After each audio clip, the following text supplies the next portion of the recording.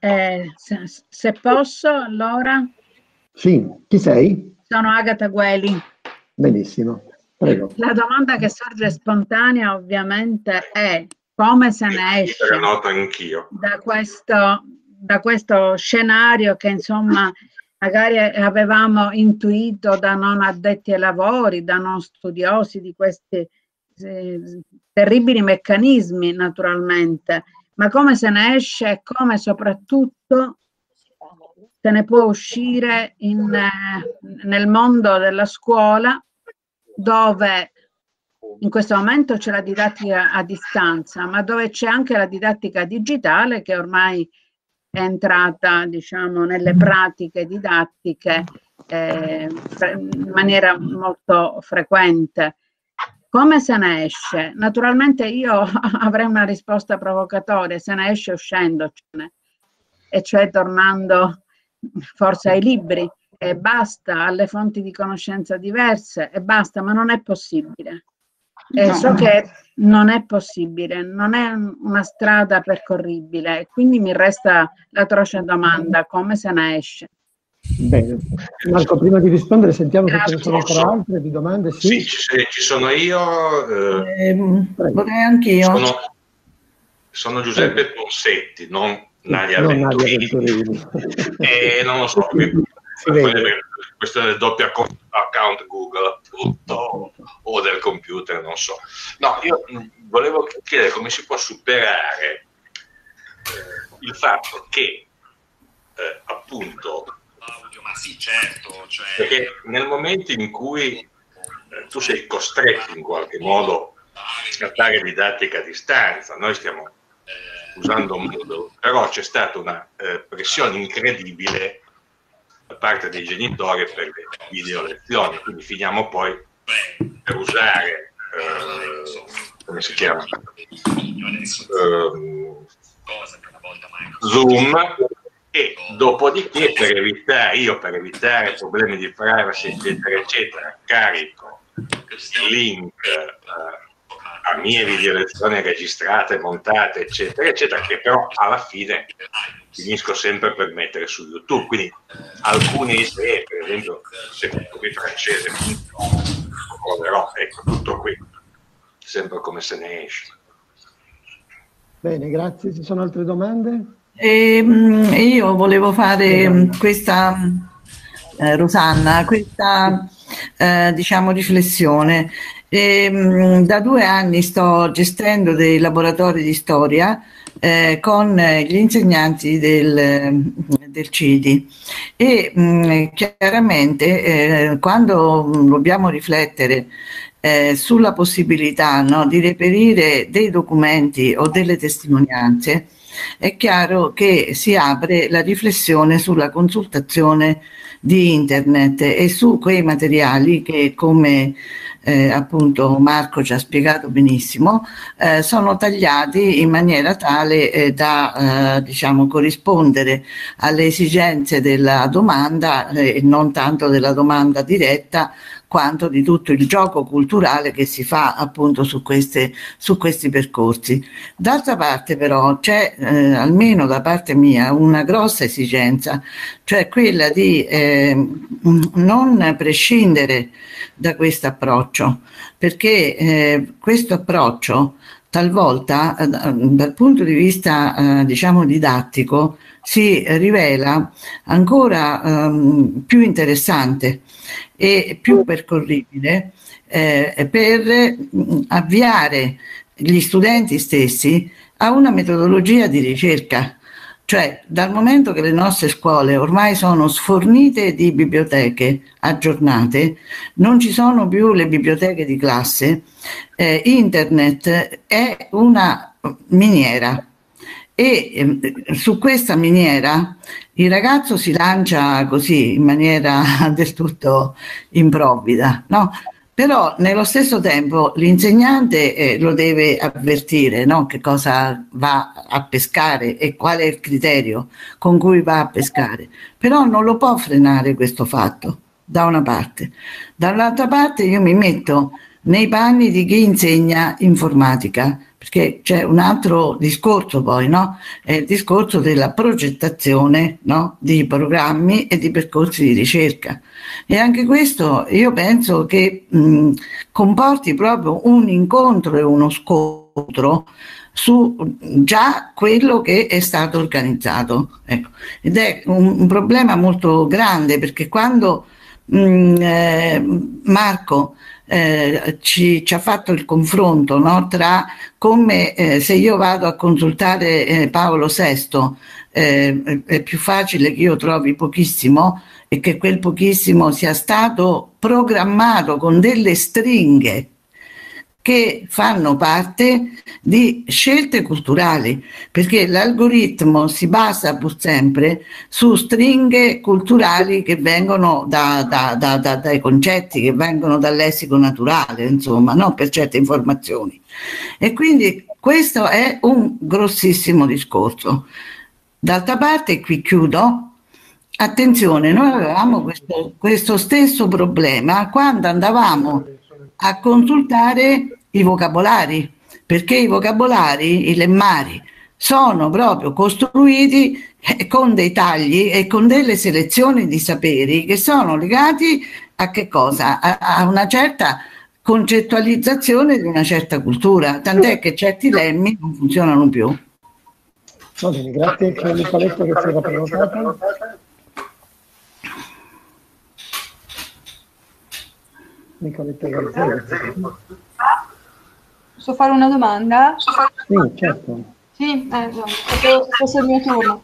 Eh, allora, eh, io ho vissuto negli ultimi settimane, ho, ho ritorno...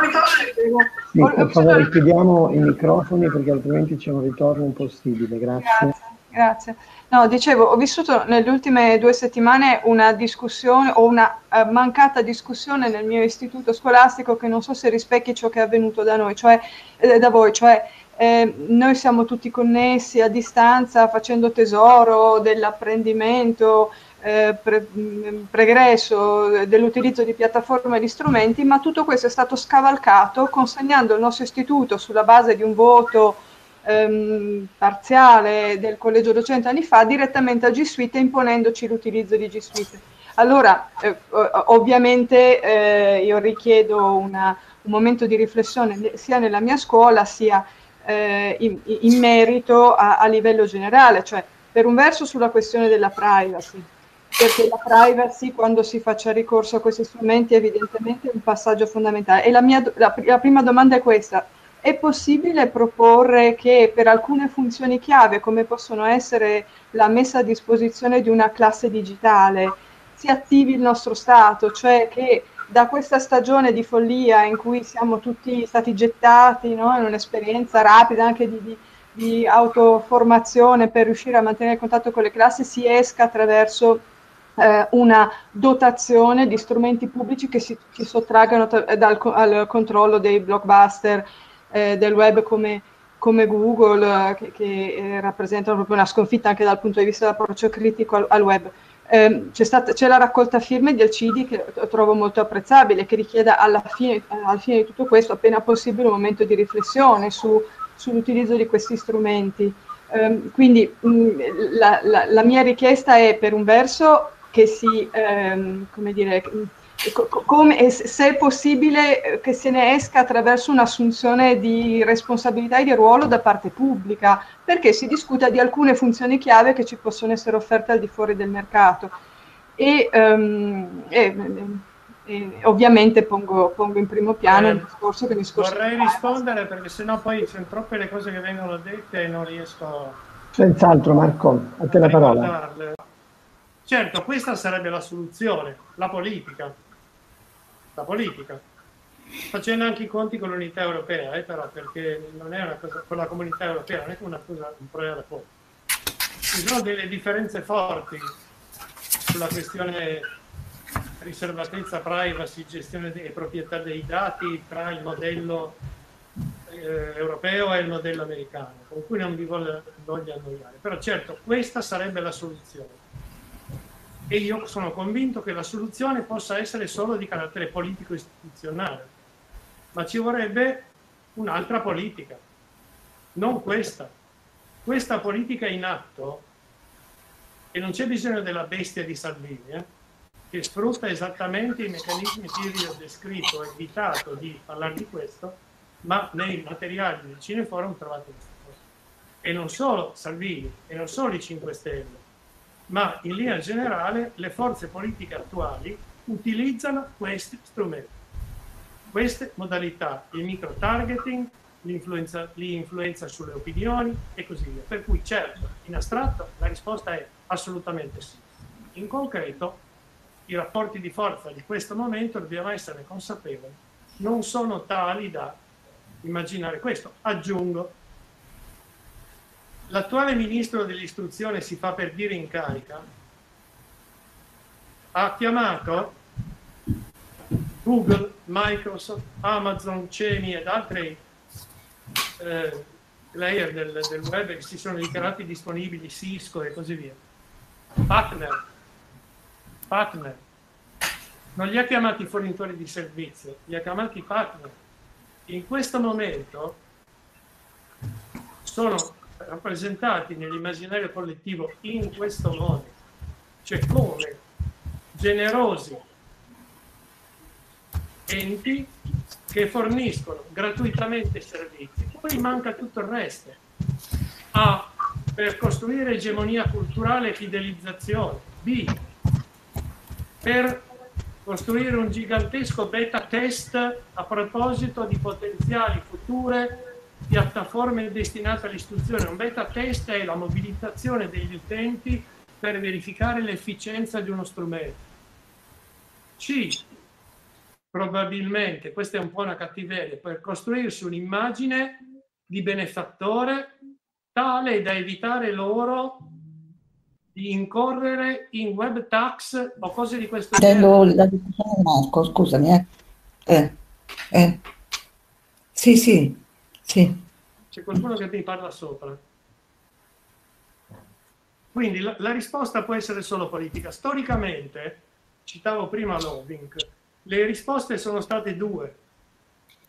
La risposta più regole e la risposta più codice alternativo. Ve l'ho in qualche modo citato, il software libero alternativo al software commerciale, le comunità aperte eh, alternative alle comunità chiuse, ma sono state ipotesi assolutamente minoritarie ed elitarie.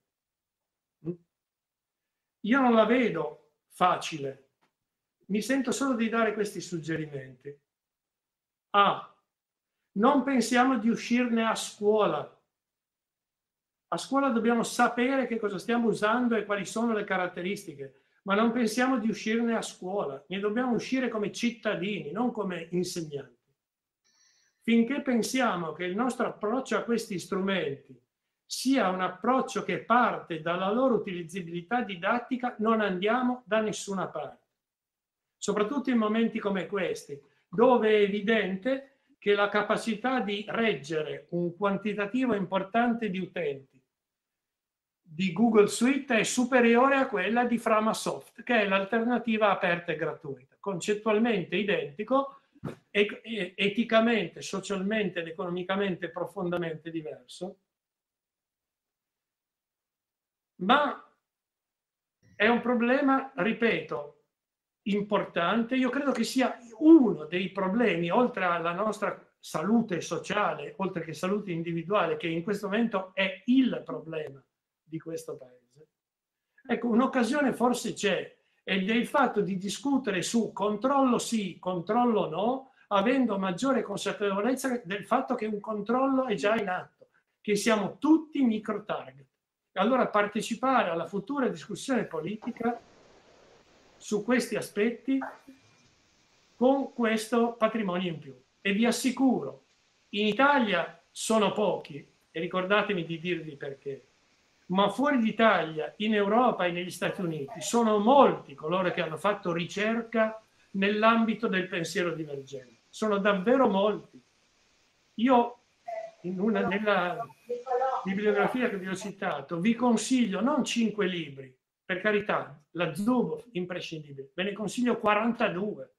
Sono tanti, sono tanti coloro che fuori dall'Italia hanno fatto ricerca importante, riflessioni importanti. In Italia questa roba qui non c'è. Io ho un'ipotesi sul perché non c'è. Perché in Italia è subentrata in questo campo, e le riconosco l'assoluta buona fede, sia culturale sia professionale, una soluzione ingenua ed illusoria che si chiama media education.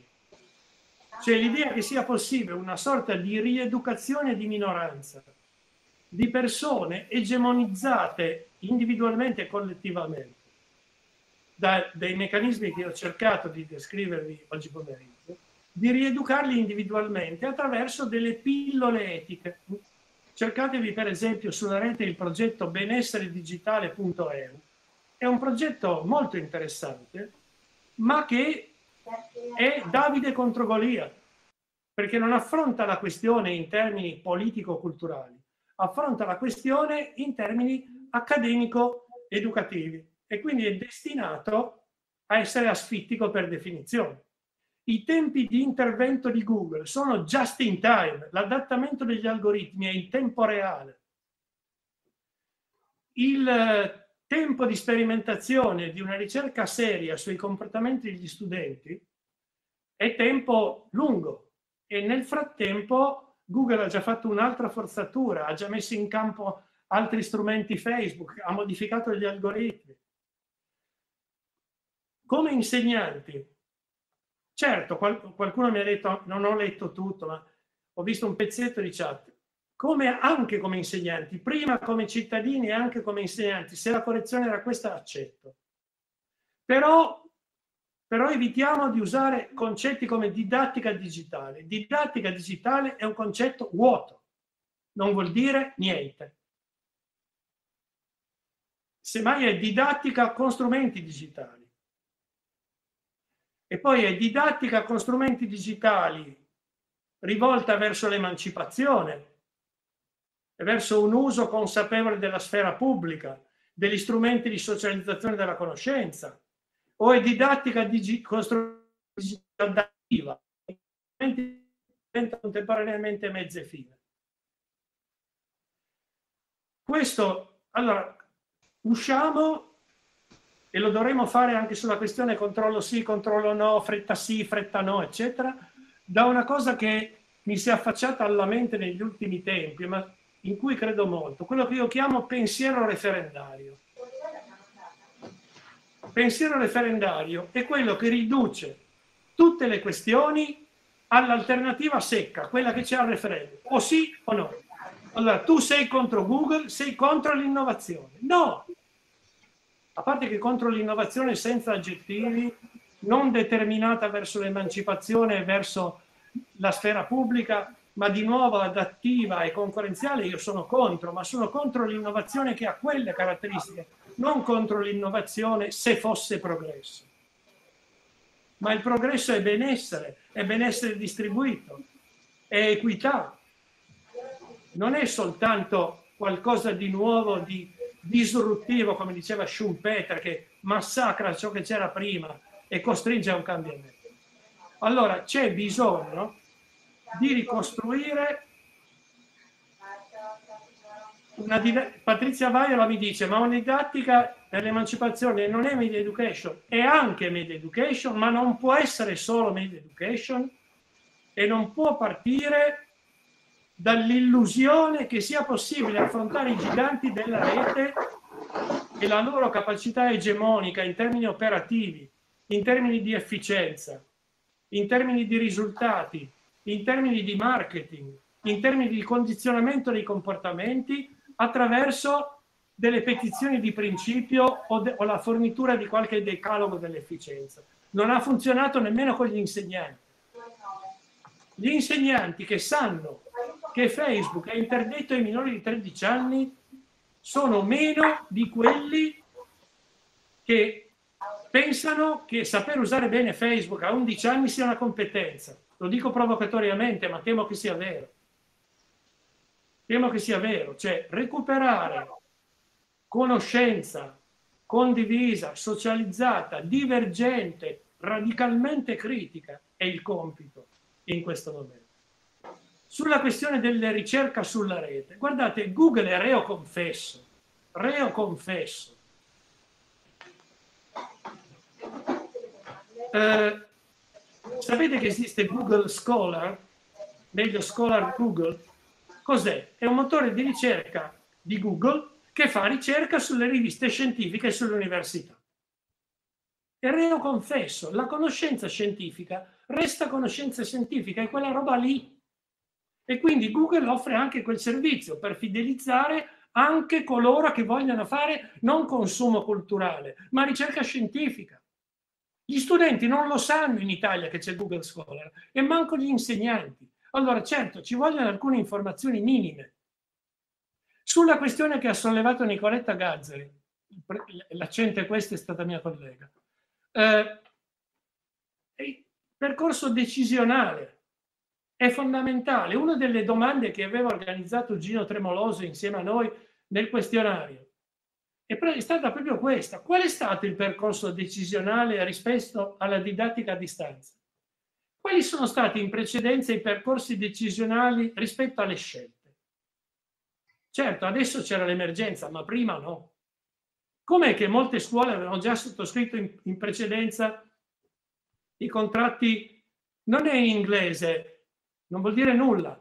Google Scholar non è in inglese, rispondo alla chat Google Scholar fa ricerca nella lingua che gli viene inserita e quindi fa ricerca sui materiali italiani che ha indicizzato. Google non è in nessuna lingua, è in tutte le lingue del mondo e ha qualche problema col cinese perché i cinesi e con i russi gli hanno messo un po' di muri di carattere tecnico perché vogliono muri di carattere politico-culturale, ma Google è in tutte le lingue del mondo. Sono i materiali che non sono in tutte le lingue del mondo. Non ho mai fatto una ricerca su materiali ROM, ma immagino che ci sia molto poco. Qualche riferimento ai rom ci sarà. Google non è in nessuna lingua. Google è in tutte le lingue del mondo, lì sta la sua forza. Google indicizza i materiali in tutte le lingue del mondo. Google, ragionando sui brevetti, ha costruito dei sistemi di traduzione di un'efficienza straordinaria, quelli che usate.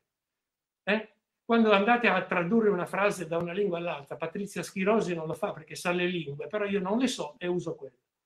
Allora, quando fate una traduzione di quel tipo lì, usate il fatto che Google si è costruito dei motori di intelligenza artificiale su quella roba straordinaria perché sapete cosa ha fatto? Ha analizzato i brevetti. I brevetti hanno la stessa struttura in tutte le lingue e quindi Google ha trovato un sacco di corrispondenze che ha immediatamente eh, immagazzinato nel suo magazzino e di conseguenza è in grado di, di utilizzare. Però, riassumo, la soluzione certo che è politica ed è il recupero della sfera pubblica, ma è una soluzione militante, non è una soluzione eh, immediata, non è una scorciatoia, è una strada lunga e faticosa, perché significa rimpadronirsi della cittadinanza, che questi strumenti ci hanno sottratto da tempo, non solo in termini di privacy, ma in termini di influenza sui comportamenti, sulle scelte politiche sui partiti piattaforma e non voglio esagerare perché non voglio offendere nessuno.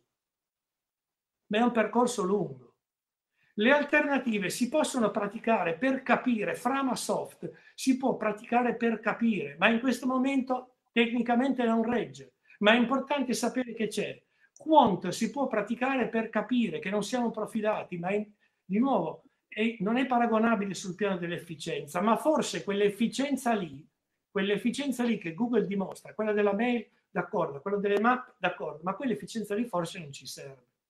Ci tengo a consegnarvi ancora un concetto, che è il concetto di trasparenza radicale.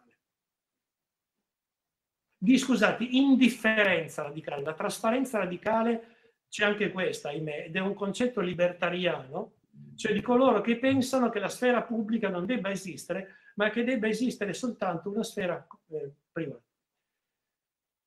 Ti faccio condividere Serena Pintus, solo fammi finire di urlare. Allora, il concetto di indifferenza radicale.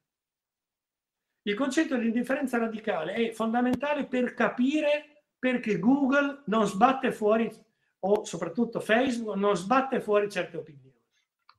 Perché le opinioni per Google sono puramente, o per Facebook, sono puramente zone di mercato non hanno valore etico, non hanno valore culturale. Il negazionismo per Google ha un valore di mercato, spero non equivalente a quello dell'antifascismo. Ma se ci sono negazionisti, Google deve essere in grado di restituire loro risultati di ricerca che siano soddisfacenti per una logica customer care. Facebook, fin quando non succedono particolari attriti o con lobby o con istituzioni o con gruppi di avvocati particolarmente potenti, non cancella nulla, se non perché ha manifestazioni che possono turbare i suoi cicli commerciali, ma di per sé non c'è assolutamente nessun criterio etico. Cercatevi sulla rete, c'è in versione commerciale eh, un, un, film che è uscito un anno fa e che è, è stato in sala tre giorni. Tre giorni. Si chiama Quello che i social non dicono. È un film molto interessante sul lavoro di di ripulitore di Facebook. Cioè coloro che in nome per conto di Facebook lavorano per cancellare e ripulire messaggi e informazioni. Costoro hanno il compito di seguire delle linee guida, sono tendenzialmente forza lavoro taschificata che, come accennavo da prima, sta nelle zone meno ricche del mondo, più povere del mondo, e in, nelle Filippine, per esempio, ce ne sono tantissimi, sono in subappalto, non sono assolutamente in relazione diretta con Facebook. E hanno questo compito, per esempio, nell'arco di una giornata, decidere su una decina di migliaia di immagini, se ricordo bene le quantità, non sto esagerando, se sono immagini da conservare o cancellare, conservare o cancellare, conservare o cancellare, conservare o cancellare, conservare o cancellare, cancella, cancella, cancella. Questo è l'audio di quel film cancella, cancella, conserva, conserva, cancella, cancella. Questo è il lavoro. E il lavoro si chiama taskifica. A cosa serve questo lavoro? A risolvere il problema e poi a fornire a un algoritmo che gli sostituirà i pattern, i, pattern, i criteri per poi cancellare le prossime immagini. Queste persone stanno sostituendo e poi allenando e poi verificando il lavoro algoritmico.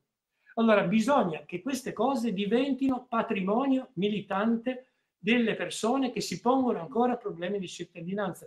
Non so rispondervi meglio, però davvero rinunciare alla posizione assoluta che non deve usare internet. Vi ho, vi ho detto che internet, che è l'insieme di computer messi in relazione tra di loro da sistemi vari di connessione fisica, Inter, internet è un'infrastruttura fisica e invece nell'immaginario collettivo è diventato un soggetto della cultura. Non è vero.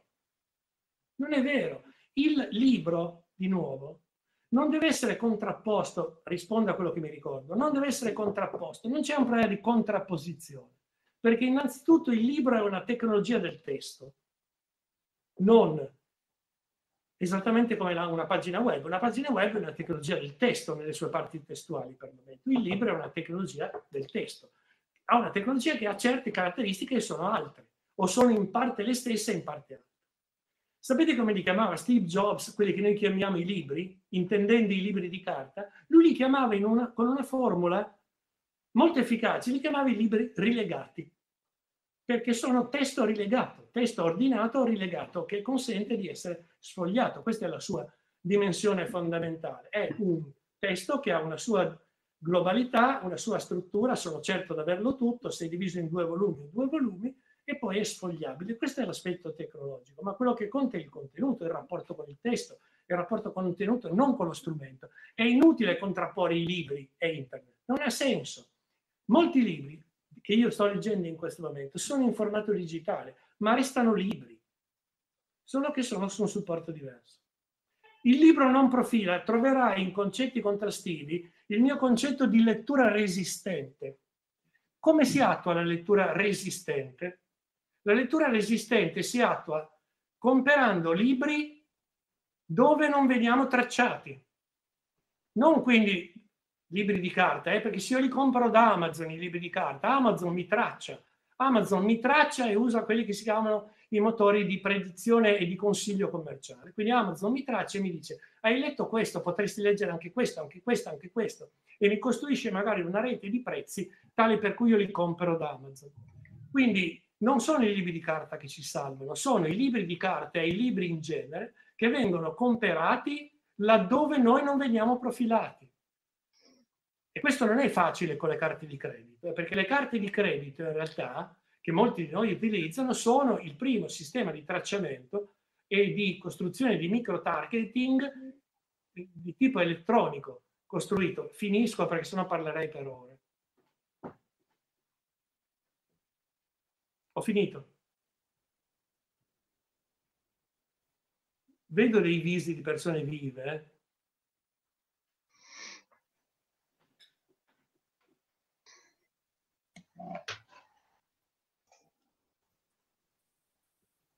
Direi che... Ah, Giuseppe, sì. non ne usciamo, non ne usciamo adesso. Dobbiamo sapere, eh, volevo dirti questo, dobbiamo sapere come ci stiamo dentro. Attenzione, certo. dobbiamo capire la differenza, così vi faccio un altro pippone, tra contraddizione e contrapposizione. La contrapposizione piace ai vincenti, perché noi ci contrapponiamo per perdere. La contraddizione, cioè il comprendere che ci sono degli aspetti con diverse componenti all'interno di un comportamento, la questione del lock-in che vi dicevo prima, io non vorrei stare su Facebook ostaggio di, di Zuckerberg, ma ci sto perché alcune commodities, se no, le perdo. Quindi sapere a cosa stiamo dentro. Però capire che non è una competenza, che non devo adattarmi, che devo star dentro in modo divergente. Guardate che se fate un, una... Chiudo con questo, così Giuseppe è contento. L'FNC è uscita con un documento devastante, il cui quarto paragrafo dice una sciocchezza enorme, cioè dice che nella scuola inclusiva si usano questi strumenti che in fondo sono solo strumenti. Non è vero che sono solo strumenti. Questa è la prima cosa che va compresa. Non sono mai state le tecnologie solo strumenti, più che mai in questo momento, quando sono sia tecnica sia ordine regolatorio, possono essere considerate strumenti. Perché ci condizionano sul piano operativo, ma ci condizionano sul piano dell'egemonia culturale. Quindi non possono essere pensate come strumenti neutri. Allora, almeno rifiutare in forma esplicita e argomentata questa questo passaggio è la prima tappa, l'ho girato che stavo zitto.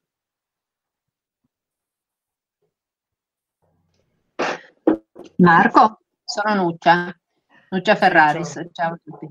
Eh, ha senso eh, chiedere ai insegnanti piattaforme indipendenti, indipendenti ministeriali, come prima Gino scriveva quella francese, ci sembra, ci sembra di aver capito che in Francia eh, la scuola può utilizzare una piattaforma ministeriale. Ha senso chiedere questo? È realistico poterlo fare? Devo rispondere davvero? Era una domanda vera, va bene, non rispondere. No, io rispondo, cioè questo è quello che noi dovremmo fare. Noi dovremmo esigere, non chiedere, esigere, cioè aprire un terreno di conflitto e di rivendicazione politico-culturale e probabilmente anche sindacale, ma siamo già messi male perché i sindacati hanno già detto che sono strumenti neutri, che una piattaforma vale l'altra. Leggeteveli questi documenti, leggeteveli. Sono documenti terribili ed è terribile che possano passare come se niente fosse perché c'è una sorta di resistenza alla critica legata all'idea che stiamo parlando di strumenti tecnici. No, stiamo eh, parlando di strumenti che condizionano la cittadinanza, la conoscenza, la cultura, la cognizione e come tali li dobbiamo affrontare. Quindi certo che ha senso, ma deve, è una rivendicazione, perché non lo faranno, non lo faranno, non lo faranno uno perché questo ministro, tanto io sono notoriamente un sovversivo, questo ministro è stato eletto grazie alla piattaforma Rousseau. Questo ministro ha detto delle cose al convegno sulla media education sull'odio e sull'influenza dei comportamenti, cercatevelo, lo trovate in giro, il convegno della Media Education del MIUR con Azzolina che apre i lavori. Se il ministro fosse stato coerente con quello che ha detto in apertura, avrebbe dovuto dimettersi seduta stante da ministro e da parlamentare. Perché quel seggio parlamentare è il frutto dell'utilizzo della profilazione algoritmica è il frutto dell'utilizzo della capacità che gli algoritmi hanno di indirizzare messaggi mirati agli elettori per poterli convincere della volontà di una piattaforma, sottolineando quello che in quella piattaforma c'è che è coerente con le loro opinioni e soprattutto sottolineando quello che c'è nei comportamenti dei presunti avversari che è in qualche modo in conflitto con le loro opinioni. Quindi con questa politica concreta, secondo me è molto difficile, però certamente è l'unica strada possibile, è l'unica strada possibile, quella della rivendicazione consapevole di eh, un intervento politico di, vi ho già detto quello che dice Barberis, Barberis è un giurista democratico, c'è ancora sto difetto, che dice una cosa spaventosa, dice quando si è al governo bisognerebbe essere interdetti da Facebook, perché Facebook è uno strumento di manipolazione delle opinioni. E quindi almeno quando si è al governo bisognerebbe non poterlo usare. Ma pensate un po' a fare una proposta di questo tipo, in questo momento. Si parla immediatamente, su questo Google, Facebook, eccetera, sono straordinariamente brave a far pensare che questa roba qui sia lesione della libertà di opinione. Lesione della libertà di opinione. C'è stata un'esultanza quando Facebook ha chiuso un po' di roba di Casaccia Pound e di altri esseri del genere, che io ho condiviso sul piano, come dire, ideale, ma mi ha molto colpito, perché i meccanismi per cui questo, queste, queste pagine sono state chiuse, cioè il fatto che creavano troppo attrito e troppi conflitti che commercialmente penalizzavano Facebook, non è mai stato individuato. Si è pensato che Zuckerberg fosse diventato antifascista. No, quella roba lì contraddiceva le linee guida e creava contraddizioni non superabili all'interno del, del flusso informativo che Facebook erogava. Cioè le proteste erano troppe e Facebook in quel momento aveva bisogno di recuperare credibilità. Zuckerberg di fronte alle commissioni senatoriali in particolare, ma anche dei deputati americane che l'hanno interrogato sulla questione dei, di Cambridge Analytica e di fronte anche al governo inglese, ha fatto delle figure terribili, terribili, di cui i giornali italiani non hanno però parlato se non appunto come curiosità, come aspetto secondario. Ok, quindi certo, però, ripeto, è una rivendicazione. Sulla questione delle piattaforme, quando di voi si ricorda il registro elettronico, la prima piattaforma di lavoro a distanza introdotta nel nostro paese? Sa situarla nel tempo? Rispondete. Io mi ricordo Brisa. Vi faccio la domanda risposta chiusa da Invalsi. Ma... 2007, 2011, 2015. Nessuno ci prova, neanche Giulia? Direi. Direi 2015. 2011. A 11, 2011. È appena andata. Perché interviene la revisione di spesa, il governo Monti, vi ricordate? Mm. Comincia a parlare di queste cose. Allora, il, il, registro cartaceo è uno spreco di carte, eccetera, il registro elettronico fa risparmiare. Ok, questa è la logica. Questo nasce così eh, è, già interessante che non ce lo ricordiamo. Eh. Poi questa roba qui vede la Costituzione da parte del dottor Giovanni Biondi, allora le risorse umane, è inesatta l'espressione, però insomma l'ufficio analogo alle risorse umane del MIUR, eh, fa un tavolo tecnico. Fa un tavolo tecnico dei fornitori di servizi. Avete presente che prima del registro elettronico le scuole erano fornite di ciò che viene chiamato la segreteria elettronica, insomma tutta una serie l'anagrafica alunni, quella roba lì c'era già. Eh? Le segreterie da tempo avevano i dati degli alunni in formato elettronico, i gestivano le iscrizioni e così via in formato elettronico. Si siedono al tavolo e la prima cosa che hanno detto i fornitori di servizi hanno detto mica farete una piattaforma pubblica, bisogna conservare, con questo rispondo a Magda, il mercato, perché al mercato non c'è alternativa. Vi ricordate che abbiamo cominciato con la Thatcher?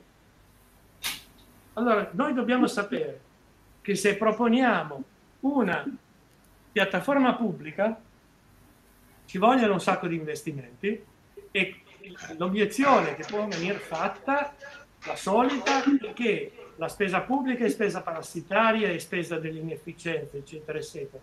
Che i soldi non ci sono, non ci saranno, non ci saranno per sempre. E in ogni caso si aprirebbe un fuoco di fila di coloro che pensano che i servizi debbano essere privatizzati, perché il privato è bello. Non riesco a farvela vedere, però in quella, se vi ricordate, in concetti contrastivi, poi se volete chiudiamo, c'è una voce che si chiama cibernetica militare cibernetica bellica, anzi perché nasce con la guerra. E all'interno c'è una fantastica slide della professoressa Mariana Mazzucato, l'avrete sentita nominare sì, sì. che è un'economista non certo sovversiva. Sì, sì. E dice questo, e lo, lo presenta con un'efficacia straordinaria. Dice, la vulgata dice che la spesa pubblica è spesa sprecata in realtà la storia delle tecnologie digitali ci racconta che certo. Tutto ciò che è stato implementato genialmente e raccolto, e fa il caso dell'iPhone, dai grandi imprenditori visionari negli strumenti che hanno avuto grande diffusione sul mercato, è frutto della ricerca pubblica, in particolare di quella militare. Di quella militare. In quella slide voi vedete una serie di tecnologie, dal touch al GPS, Marina Militare Americana, a, a, al linguaggio HTML implementato dal CERN di, di, di Ginevra, Ginevra, che sono frutto di ricerca finanziata dal pubblico per fini militari, per fini universitari, Giustissimo. e poi in qualche modo captata e, e di cui si è appropriato il modello privatistico di cui adesso noi siamo sostanzialmente, come ho cercato di fare dall'inizio, abbastanza prigionieri, perché però i prigionieri possono essere, trasformarsi in capò, ma anche ogni tanto, come dire, manifestare qualche opinione diversa. Io vi proporrei quindi in chiusura, se volete continuare io sto qua, però forse non è il caso. No. Eh, eh, vi proporrei di comportarsi da cattivi prigionieri. Bellissimo. D'accordo. D'accordissimo. Già siamo prigionieri. Luca Angelone, Luca Angelone. Doppiamente prigionieri e perfidi. sì, c'è ancora una domanda, da, una domanda l'ultima, l'ultima domanda di Luca, poi chiudiamo. Sì, ecco, io avevo soltanto una questione. Capisco la, la dialettica modello privato, modello pubblico, ma eh, come dire, lo Stato non, è, non, ha sempre dato esempio nella storia di eh, come dire, farsi portavoce di un modello assolutamente pubblico di cittadinanza. Abbiamo avuto esempi anche di stati totalitari. Eh, quindi perché è più affidabile uno Stato che presenta rischi anche di questo tipo rispetto a eh, questo modello di mercato rappresentato di Google, perché alla fine lo Stato è un modello di organizzazione che conosciamo meglio, per cui abbiamo trovato degli antidoti eh, tali per cui siamo in grado in qualche modo di difendere lo spazio pubblico dalle eventuali ingerenze di questo tipo o, quali sono le, le ragioni di principio che vedi? Democratico.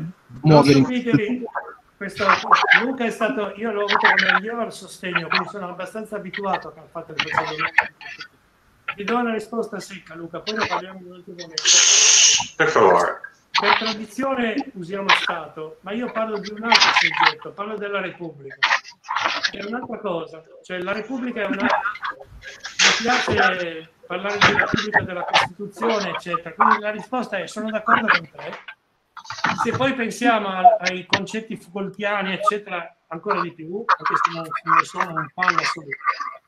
Certo, la contrapposizione in questi termini, anzi, appartiene di nuovo al pensiero polarizzato. Io sono convinto, però, che una restituzione del... Chiudete i microfoni, mi dicono perché entrano di tutto. C'è qualcuno che grattugia qualcosa, credo.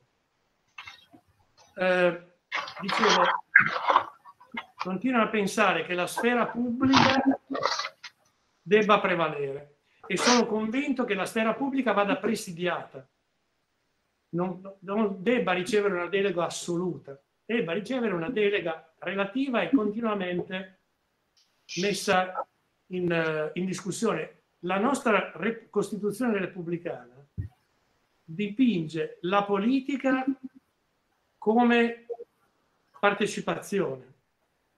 Quindi non lo Stato inteso come ente unico depositario, eccetera, ma la sfera pubblica, le istituzioni pubbliche, la Repubblica come luoghi in cui mettere in moto. Poi la nostra Repubblica delega allo Stato una serie di compiti e questi compiti eh, devono essere però come dire, controllati attraverso un meccanismo partecipativo. Ho risposto molto affrettatamente, ma credo che si tratti di uscire dalla polarizzazione anche in questo caso e che non è in ogni caso Stato, azienda, ma è sfera pubblica, sfera individuale e privata. Richiamando il concetto fondamentale che citava Rodotà, che adesso vi ripeto male, eh, sta uscendo di tutto dai gramsciani qua nella chat. Eh, ho perso il filo. Ah, Rodotà che diceva che la sfera pubblica è il completamento della personalità, cioè che senza sfera pubblica, che è la zona dell'interesse generale, della negoziazione, dell'eventuale contesa tra opinioni diverse, dell'eventuale conflitto, senza sfera pubblica siamo tutti in una condizione di minorità contrapponendosi al pensiero libertariano Tea Party, per esempio, che sostiene invece che la sfera pubblica e quindi lo Stato devono intervenire il minimo possibile e, se necessario, proprio per compensare quelli che sono i fallimenti del, dello Stato, per esempio, del, dell'impresa, per esempio fornire l'istruzione a tutti. Bene, grazie, ma non credo che ci sia nessuno qui dentro che abbia questa idea. Allora, eh, ringraziamo Marco e ringraziamo tutti voi per aver partecipato. Se mh, eh, vi arriverà dal CIDI l'attestato di partecipazione eh, con il link dove poter scaricare la registrazione. Grazie a tutti di aver partecipato e un saluto affettuoso a tutti. Grazie Marco, a presto. grazie. Grazie, ciao. Grazie. Grazie. Dice Gazzeri di firmare l'appello. Sì, firmate l'appello del CIDI ciao, per ciao. indipendente. Senz'altro. Sì, Marco. Senz'altro. Grazie, ciao a tutti. Ciao, grazie ciao, ciao. Arrivederci. Arrivederci. Ciao. Ciao. Arrivederci. Arrivederci.